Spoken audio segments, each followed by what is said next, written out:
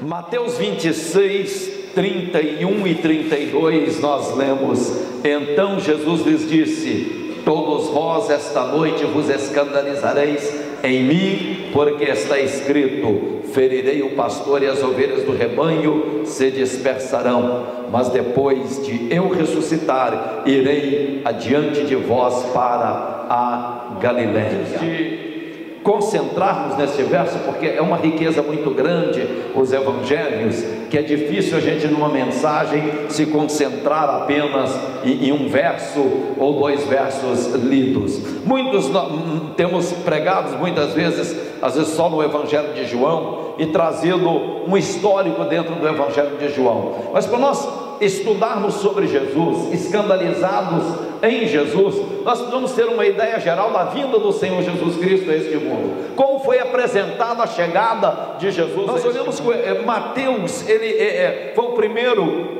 evangelista, o primeiro a escrever acerca de, de Jesus. Ele conviveu de perto com Jesus, segundo a, a, se pode perceber da, das referências na Bíblia. Mateus seria o mesmo Levi, aquele coletor de impostos que Jesus chamou para ser a, seu seguidor, seu, seu apóstolo. Então, dos, de todos os que escreveram, dos, dos evangelistas, Mateus é, é, o mais detalhista a, na sua forma de escrever. Ele apresenta a, o evangelho dentro de uma forma bastante organizada, como coletor de impostos que ele era, ele estava habituado a trabalhar de uma forma organizada, agrupando as, as coisas por, uh, por planos de contas. Então Mateus faz isso e agrupa os ensinamentos, os discursos de Jesus num grupo, os milagres de Jesus no outro grupo, algumas parábolas em outros grupos. Então o Evangelho de Mateus é bem assim agrupado. Mas o que mais me chama a atenção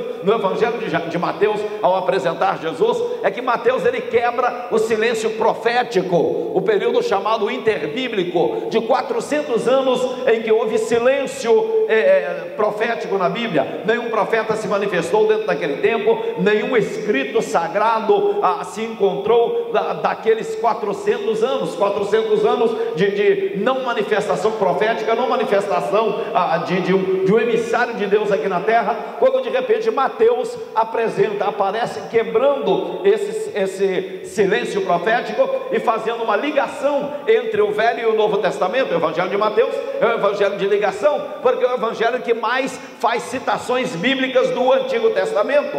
Mateus quase sempre ele está escrevendo e dizendo: para que se cumprisse a profecia de tal profeta, para que se cumprisse o que o Salmo, está escrito em Salmos, para que se cumprisse. Então, Mateus mostra que Jesus Cristo é cumprimento do Antigo Testamento. Então, desta forma, Mateus faz uma ligação clara entre o Antigo e o Novo Evangelho Testamento. de Mateus ele começa apresentando Jesus como se tratava de fazer uma ligação e como Mateus ele vai apresentar Jesus Cristo como Messias, ele abre abre o seu evangelho dizendo: Evangelho de Jesus Cristo, filho de Abraão, filho de Davi. Ele começa também no primeiro versículo, ele começa dizendo: Eu vou falar de um Jesus que é da linhagem de Abraão, da linhagem de Davi, porque Mateus estava direcionando o seu evangelho principalmente aos judeus, e era importante que Mateus mostrasse para os judeus que Jesus era da descendência de Abraão e da descendência de Davi. Por causa disso, Mateus, ele começa também com a genealogia, e ele não se preocupa em ir até Adão e começar de Adão até Jesus. Ele começa de Abraão, porque para o judeu bastava provar que Jesus vinha de Abraão. Aí Mateus começa desde Abraão, introduzindo Jesus. Mateus apresenta aquilo que Lucas, na sua genealogia, ele não apresenta. Mateus apresenta cinco mulheres na genealogia de Jesus. É importante nós destacarmos isso, porque a apresentação dessas cinco mulheres está falando da misericórdia de Deus, está fazendo do plano de Deus, de como Deus é soberano na sua forma de agir, misericordioso na sua forma de atuar.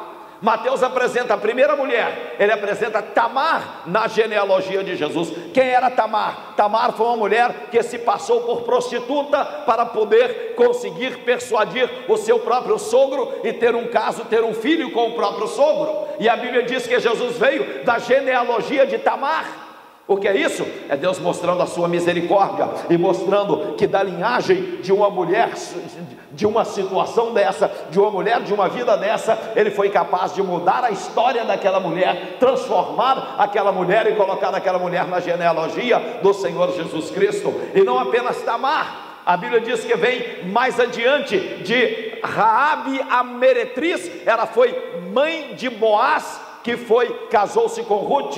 Então veja, a, a outra situação coloca-se na genealogia de Jesus uma outra mulher, e a Bíblia diz bem claro: ela era prostituta, ela era uma meretriz que morava em cima dos muros da cidade, porque ficava fácil para ela poder conquistar os homens que ali entravam, e a casa dela era, era uma passarela de homens que passavam por ali, viajantes que chegavam na cidade e encontravam uma mulher de vida fácil para eles se divertirem e fazerem aquilo que não era lícito fazer, mas a Bíblia diz que aquela mulher também se converteu, aquela mulher também teve fé, e Deus apanhou aquela mulher e disse: Sabe de uma coisa, Rabi, eu vou te colocar na genealogia do meu filho, eu vou mostrar para o mundo que eu sou capaz de salvar, transformar, purificar, mudar a vida de uma mulher e fazer dessa mulher uma bênção nas minhas mãos. Raabe, você vai ser uma bênção na minha mão. Mas faltava mais alguém, e Deus falou: Eu preciso de uma estrangeira a mais aqui na linhagem de Jesus. E Deus manda que Ruth fosse peregrina, que, que é, é, fosse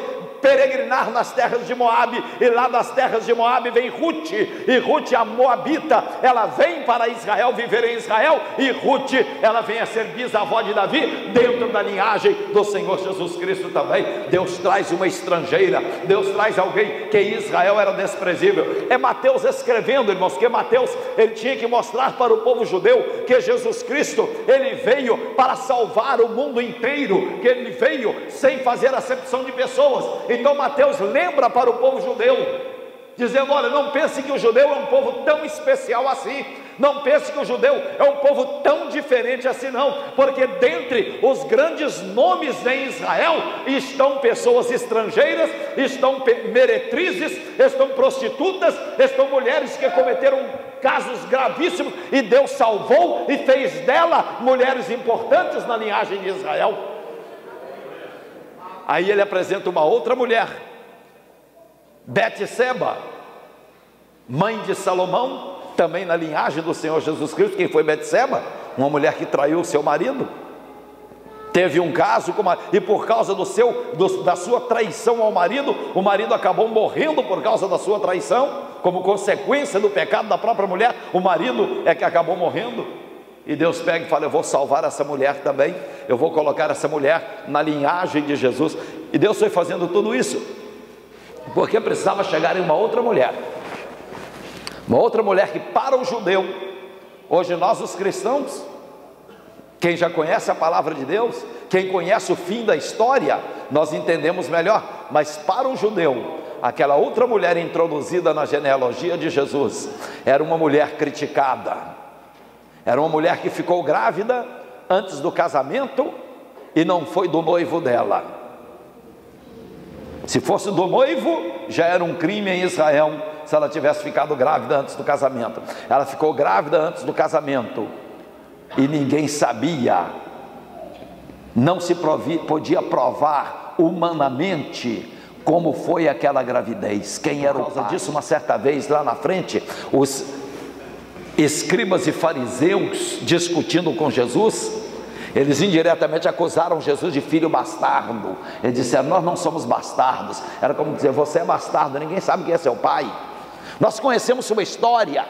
Você nasceu de uma mulher que estava desposada, estava noiva, mas não tinha casado ainda, não tinha feito lua de mel ainda. E quando foi para lua de mel já estava grávida.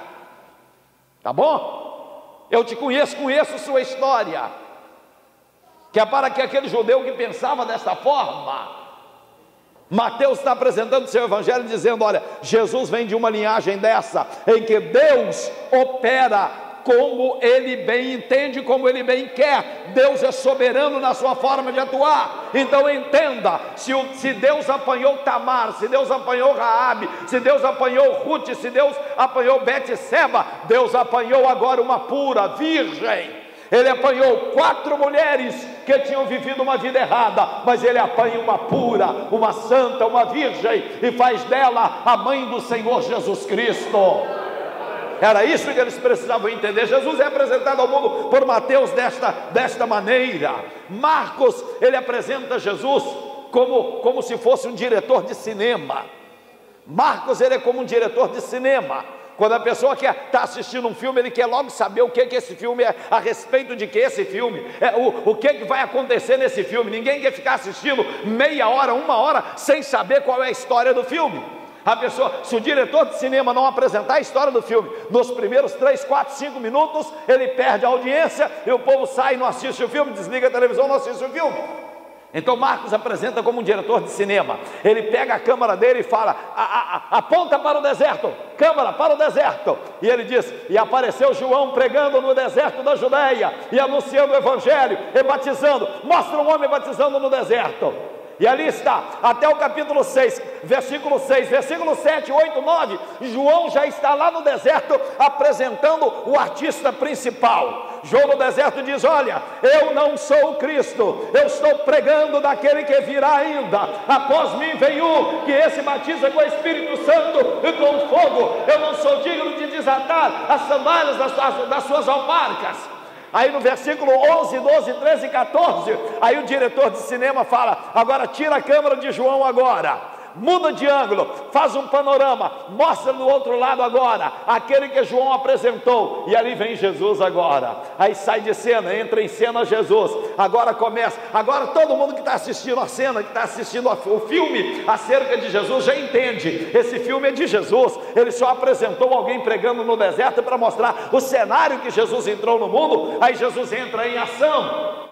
Evangelho de Marcos é um filme de ação acerca de Jesus, apenas no primeiro capítulo de Marcos, três milagres já acontecem. Jesus faz três milagres no primeiro capítulo de Marcos apenas. Mateus e, e, Lucas, Jesus só vem fazer milagre já lá no capítulo 4 em diante, é que começa a ação no, nesses evangelhos.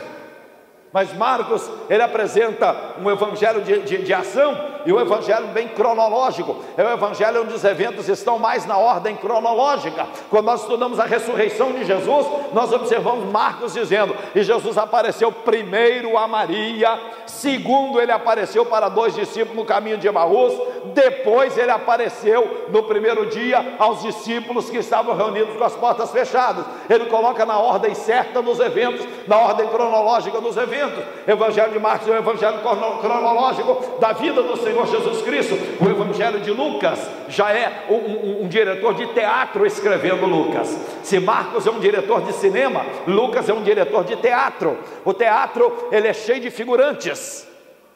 Chega num teatro, abrem-se as cortinas do teatro e aquela quantidade de personagens no, no, no, no, palco ali. Se é um musical, então apresenta tantos musicais. Só do meio do, da cena em diante é que a gente começa a descobrir quem realmente é o fantasma da ópera, quem realmente é o fulano de tal, quem realmente é aquele outro. E às vezes só no final é que se revela quem é a personagem principal. Então Lucas é como que um, um diretor de teatro que ele coloca em cena de uma vez uma quantidade de coisas. Lucas ele, ele coloca na, na cena de uma vez um prefácio ah, falando do histórico de quem governava o país naquela época, quem mandava no mundo naquela época. Ele apresenta Zacarias, ah, o sacerdote, indo oferecer o sacrifício, a sua oferta, tendo um encontro com um anjo lá dentro. Ele apresenta, ah, depois, está do outro lado de fora, o cenário de Isabel ficando grávida, a promessa do nascimento de João Batista. Ele apresenta um anjo vindo anunciando a Maria o nascimento do Senhor Jesus Cristo. Tudo isso ainda como introdução apenas, é o cenário, montando aquele cenário teatral do, da vinda do Senhor Jesus Cristo, ele apresenta o musical, é, é, é, um, é um teatro musical, parece, porque ele apresenta o musical de Maria cantando, Maria recebe a notícia e ela começa a cantar: A minha alma engrandece ao Senhor, o meu espírito se alegra em Deus, o meu Salvador. Daí a pouco ela encontra, ele marca o encontro, ele apresenta o encontro de, de Maria e, e Isabel, as duas primas se encontrando. Aí mais na frente ele fala do nascimento de João Batista e depois ele fala do nascimento de Jesus. Nascimento nascimento de Jesus, então, parece uma apoteose da peça teatral escrita por Lucas, do diretor de teatro Lucas, porque ele pinta de uma forma tão, tão graciosa, ele mostra os pastores no campo, o coral, um anjo anunciando, trombeta nos céus tocando, um coral de anjo baixando nos céus, ele apresenta então estrelas brilhando nos céus, então de repente a cena se ilumina, o palco, a, a Palestina se transforma, o palco do maior teatro que já aconteceu no mundo, aquele cenário bonito, e Jesus entra em cena de uma forma linda. No Natal a gente quase sempre prega de Jesus, um Jesus na manjedoura, pobrezinho, nasceu pobre, coitado, humilde, tadinho dele. Irmão, Jesus nasceu pobre, coitado, tadinho dele, coisa nenhuma. A entrada de Jesus, quem lê Lucas, vê que Jesus chegou a esse mundo, irmão, numa entrada apoteótica neste mundo. Ele entrou neste mundo brilhando os céus. Gente trazendo ouro, incenso e mirra para ele, coral de anjo cantando, uma estrela nova iluminando o berço do seu nascimento, irmão. Foi coisa grande a chegada de, de Jesus neste mundo. Ninguém neste mundo teve anjo cantando no dia que ele nasceu, não. Jesus, quando nasceu, baixou um coral de anjo lá no céu para cantar sobre Jesus. Irmãos, é isso, irmãos, essa introdução precisa ser feita para nós vermos. Aí, João, irmãos, até, a, Lucas, até ele chegar a, a apresentar aqui Jesus em ação no mundo, a genealogia de Jesus, ele só vai apresentar lá no capítulo 3 em diante.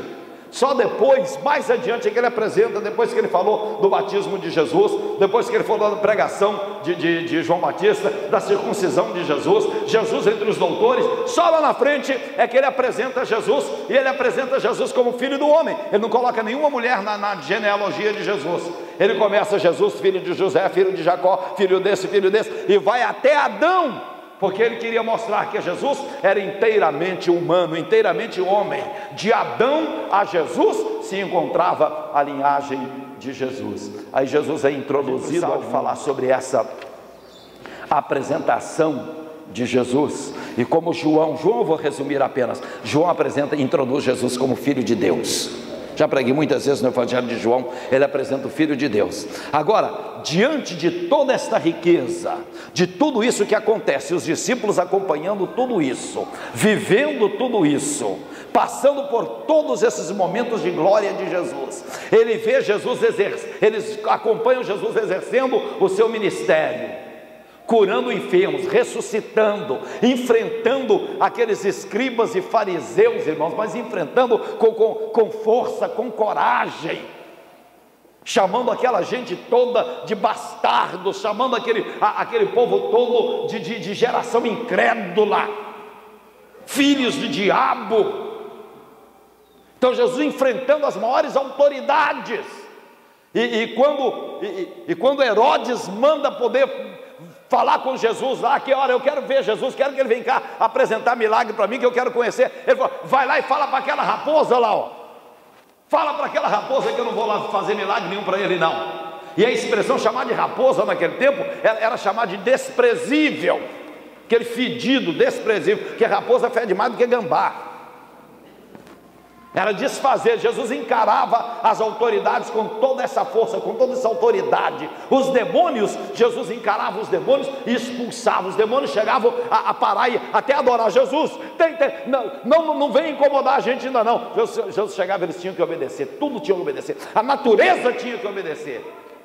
Aí, irmãos, nesse panorama todo, é que quando chega no capítulo 26 de Mateus, Jesus vira para os discípulos e diz: Olha, Agora eu vou dizer uma coisa para vocês, eu vou dizer antes que é para vocês conseguirem resistir. Eu vou ensinar para vocês é, o que vai acontecer, que é para vocês aguentarem, resistir. Olha, nesta noite vocês vão se escandalizar de mim. Em inglês diz, you're gonna fall away. Vocês vão sair, cair para longe de mim. Vão me negar, vão dizer que não me conhecem, não vão ter coragem de me seguir. E quem fez alguma coisa ainda, a Bíblia fala que Pedro seguiu de longe, Marcos, que é o que escreveu o Evangelho de Marcos, Marcos seguiu embrulhado num lençol. Marcos não era, de, não, era, não era dos apóstolos, não, mas ele já andava por ali por perto, curioso. E como foi de noite, a hora que talvez a hora que o cortejo foi passando perto da casa de Marcos, ele estava dormindo, só enrolou no lençol do jeito que estava e seguiu a si mesmo, mas depois, a hora que a coisa apertou, ele largou o lençol e saiu, fugiu nu. Então, todos iriam se escandalizar. Então, essa expressão de Jesus aqui, olha, vocês vão se escandalizar. E Jesus falou isso, irmãos, por amor a eles. Jesus falou isso para que eles pudessem se preparar, conhecer que Jesus conhece os nossos fracassos, as nossas falhas. Que Jesus entende os nossos fracassos e falhas. Tanto que Jesus disse: Olha, vocês vão se escandalizar, mas depois que eu ressuscitar, eu quero encontrar com vocês lá na Galileia. Irmãos, Jesus sabe, antes de nós errarmos, antes de nós fracassarmos, Jesus já sabe que a gente iria fracassar. E o que ele faz por misericórdia é marcar um encontro com a gente lá na frente. Eu vou marcar um encontro com você. Porque se falharmos, se errarmos, a Bíblia diz: Filhinhos, não pequeis, mas se pecardes, tendes um advogado nos céus. Fracasso, irmãos, mancha o currículo de qualquer um. Eu ouvi essa frase essa semana na reportagem do jornal Bom Dia Brasil, Bom Dia, um desses jornais aí. Quem falou isso foi o goleiro do Corinthians. O goleiro do Corinthians falou: olha, a gente vai lutar com tudo para não ser rebaixado, porque o fracasso mancha o currículo de qualquer jogador. E eu peguei aquela frase e falei: olha, ele realmente está, está com a razão, essa expressão. E Jesus, quando, quando avisou para os discípulos: olha, cuidado, vocês vão me negar. Jesus está dizendo: olha, o currículo de vocês vai ser manchado por um gesto de fracasso. Mas não se preocupem, eu vou socorrer vocês lá na frente. Irmãos, o que me faz ser apaixonado por Jesus é isso, irmãos, é a misericórdia dele. Ele oferece o perdão para a gente, antes da gente pecar, ele já oferece o perdão. Agora, o que faremos, diz o apóstolo Paulo, o que faremos? Vamos pecar para que a graça abunde? Ele diz: de maneira alguma, não vamos abusar da graça do Senhor Jesus. Mas se por acaso cairmos algum fracasso, Jesus disse: Me encontre comigo, encontre comigo depois do fracasso. Jesus tem um encontro marcado depois do fracasso. É preciso, irmãos, é antes de fracassar que a gente precisa saber disso, é antes de cair que a gente precisa saber disso, porque sabendo disso a gente tem força para voltar. O filho pródigo, na parábola do filho pródigo, se o filho pródigo não soubesse que o pai dele era misericordioso, ele nunca mais voltaria a casa. Se ele não tivesse certeza, mas o filho pródigo fracassou, ele achou que estava fazendo a coisa certa e era a coisa mais errada da sua vida, fracassou, errou gravemente, e depois de muitos anos lá, perdido na miséria. Um dia ele pôs a mão na consciência e disse: Quantos jornaleiros do meu pai, quantos empregados do meu pai vivem com abundância e eu estou passando fome. Era como que dizendo: Eu tenho um pai misericordioso, eu tenho um pai que perdoa, eu tenho um pai que ama, eu tenho um pai que vai me perdoar. Eu vou voltar e vou dizer: Pai, eu pequei contra ti, Pai, pequei contra o céu e pequei contra ti, mas eu estou voltando porque eu acredito no teu perdão. Eu acredito no teu amor, eu estou voltando porque acredito. Irmãos, nós precisamos de vez em quando pregar da justiça de Deus, pregar do inferno, mostrar o perigo do inferno, mas temos que falar também do amor e da misericórdia de Deus, esperando que a gente volte arrependido, esperando que a gente volte a Ele dizendo: Pai, eu pequei contra os céus e pequei contra ti. Jesus disse: Olha, eu vou esperar por vocês, eu vou esperar. João 2, 1 João 2 e 1 diz: Temos um advogado no céu. Aqui nos Estados Unidos, a gente vê muita, muita propaganda de serviços legais.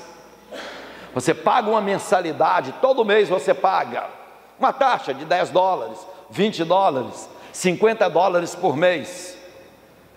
E se algum dia precisar de algum advogado por qualquer motivo, cometeu um crime, foi vítima de um acidente ou qualquer coisa, você não tem que contratar um advogado e pagar para ele de uma vez 10, 20, 100 mil dólares de despesa de advogado, porque aquele seguro de advogado foi pago antes. Agora, quem paga esse seguro de advogado, paga querendo um dia utilizar o advogado. Eu vou pagar porque um dia eu vou cometer um crime e vou precisar do advogado. Eu vou parar, pagar porque eu, eu quero um dia ter um acidente de, de carro comigo errado, matar duas pessoas e vou precisar do advogado. Então eu vou pagar isso aqui porque depois eu vou. Será que alguém paga pensando eu quero ter o advogado? É o tipo do serviço que a gente paga para nunca usar paga e pede a Deus, meu Deus, que eu nunca tenha que enfrentar corte, enfrentar tribunal para ter que usar o serviço do advogado. Ele é apenas um seguro que se tem de lado. Irmãos, que nós nunca precisemos usar, mas a Bíblia diz que nós temos um seguro que paga o melhor dos advogados do mundo, Jesus Cristo, Ele é o advogado dos errados. Os advogados deste mundo, eles querem advogar a causa de quem tem razão. Os advogados desse mundo querem advogar a causa de quem tem direito. Ele quer estudar o seu caso, deixa eu ver quem estava errado no acidente. Olha, quem estava errado era eu. Olha, então eu vou pegar o caso do outro que está fazendo ação contra você, porque vai ser mais fácil ganhar a causa. Jesus Cristo é advogado de quem está errado. Jesus Cristo diz: quem está errado? Jesus, eu estou errado. Jesus, eu estou errado. Ele diz: então me dá sua causa que eu cuido dela, me dá sua causa que eu tomo conta dela. Jesus, eu pequei, me dá sua causa que eu tomo conta dela. Jesus, eu falhei, me dá sua causa que eu te defendo, o juiz é meu pai.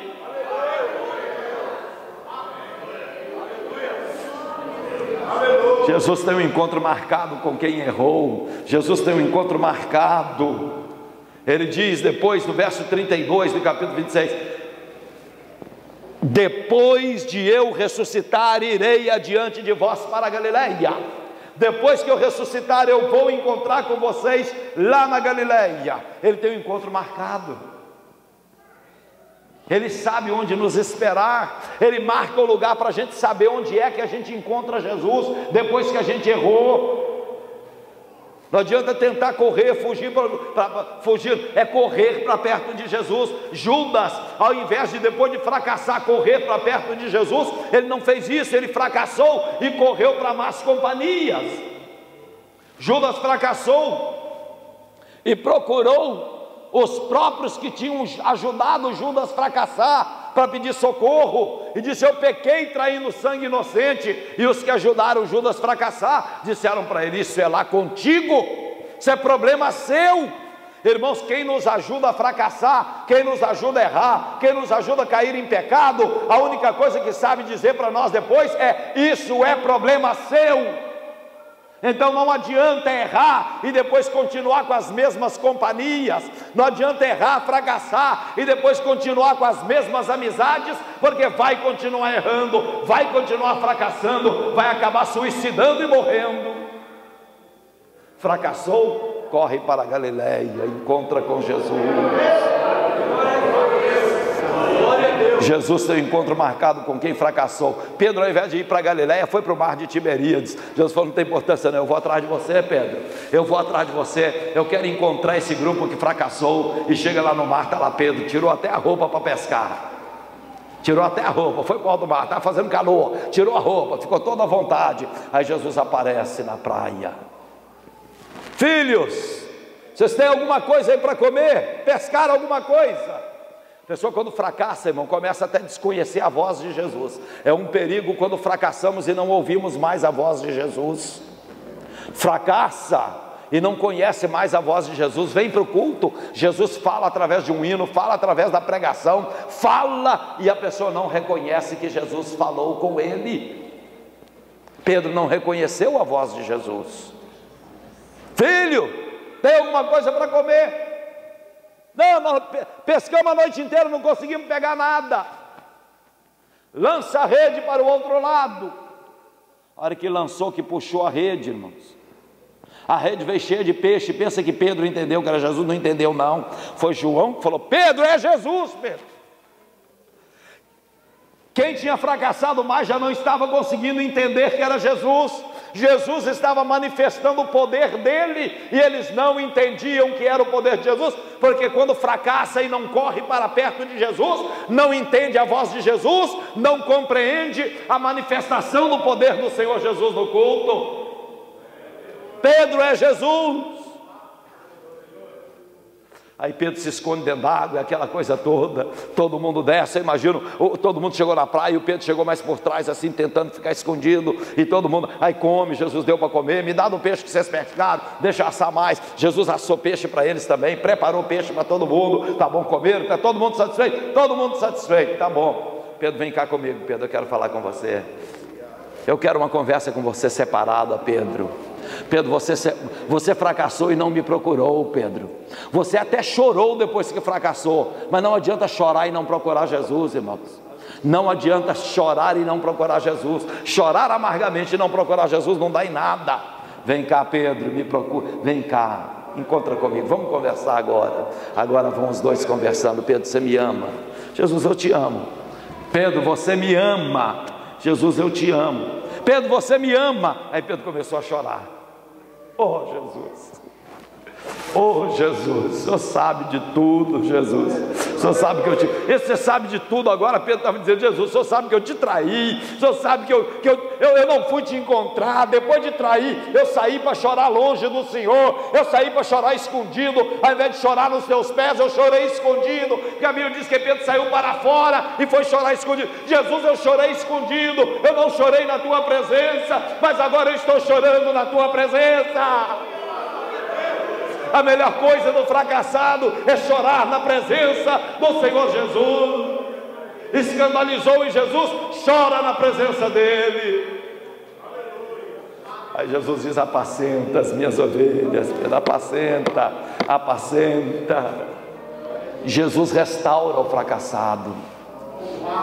Mas às vezes, às vezes acontecem sequelas difíceis de sarar. Depois do fracasso, o perdão é imediato, mas a cura depende de comunhão nossa com Jesus, com Jesus. sarar as sequelas. Eles fracassaram. Jesus disse: Encontra comigo na Galileia. Eles não foram para a Galileia. Lucas diz que dois foram para Emaús,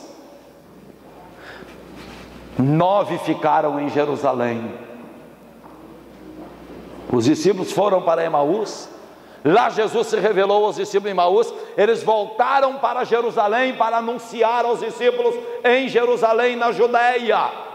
E Jesus teve que ir lá na Judéia encontrar com eles, porque eles não foram para a Galiléia onde Jesus mandou. Por que Jesus mandou para a Galiléia? Porque Jesus não deixou ficar em Jerusalém. Irmão, Jerusalém era o centro da propaganda anti-Jesus. Jerusalém era o lugar da oposição a Jesus, Jerusalém era o lugar da incredulidade. Em Jerusalém estavam os escribas, os fariseus, os sacerdotes, pagando soldado para falar que Jesus tinha sido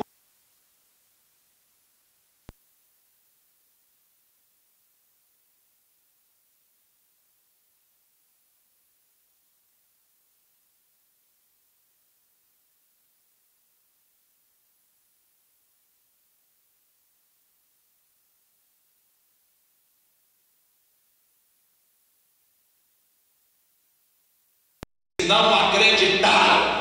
Os dois que iam para Emaús já estavam incrédulos. Os, os outros que ficaram em Jerusalém com a porta fechada estavam também incrédulos e com medo. Quem fica fora do lugar onde Jesus mandou vai perdendo a fé em Jesus. Tem que ir para onde Jesus mandou e encontrar com ele onde ele mandou. Jerusalém agora não tipifica a igreja, não. Jerusalém agora está tipificando, é o centro da, da, da incredulidade. Jerusalém, naquele momento, representa a incredulidade toda contra Jesus. E nós, irmãos, não fomos chamados para ficar no meio dos incrédulos. Nós não fomos chamados para ficar convivendo com o incrédulo, porque incrédulo vai fazer a gente parar de acreditar no Senhor Jesus. Irmãos, existem até seminários teológicos que as pessoas vão para lá e perdem a fé em Jesus. Existem seminários teológicos, onde chega lá e começa, começa a estudar tanta doutrina incrédula que perdem a fé, porque estão estudando lá em Jerusalém, com os escribas e fariseus em Jerusalém. O crente, até na hora de escolher uma escola teológica para estudar, ele tem que saber em que escola teológica ele estuda, porque senão ele vai se afastar ao invés de crer. E Jesus queria tirar os discípulos daquele seminário teológico daquele curso teológico de Jerusalém. Vamos fazer um outro. Lá na Galileia tem uma escola boa. Vai estudar lá na Galileia. Vai aprender com Jesus. Eu disse encontro com vocês na Galileia, mas não foram para a Galileia. Duvidaram do Senhor Jesus. E precisou de Jesus encontrar. Lucas escrevendo Atos. Atos é, a ligação dos evangelhos com a igreja. No capítulo 1 de Atos, no verso 1 a 8, é o, é, é o ponto de ligação agora. Lucas começa dizendo: escrevi o primeiro tratado acerca de tudo que Jesus começou a escrever, começou a fazer, até o dia em que ele foi recebido nos céus. Quando ele apareceu aos seus discípulos, e por 40 dias ele apareceu aos discípulos, há muitos 40 dias. Por quê? Porque antes de Jesus ir para os céus, ele queria ter certeza de que aqueles fracassados estavam recuperados. Irmão, Jesus não nos larga enquanto não nos recuperar. Ele quer nos recuperar. Ele quer que a gente, a gente volte àquele primeiro amor. Ele quer que a gente volte àquele primeiro entusiasmo. Ele quer que a gente volte àquela fé, àquela crença nele, aquele apego a ele, aquela vontade de segui-lo, aquela vontade de ler a palavra dele, aquela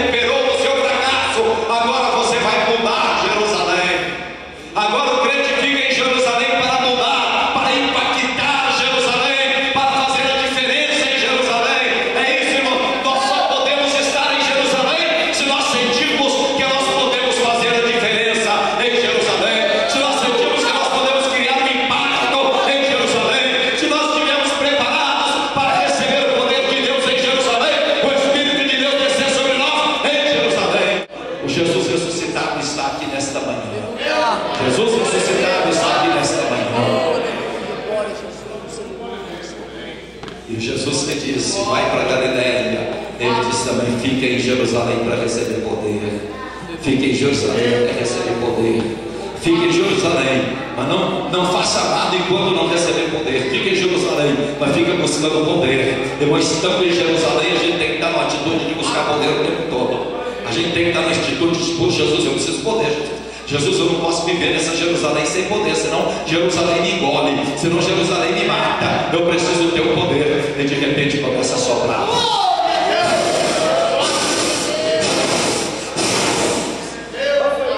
O Espírito de Deus desce sobre Jesus.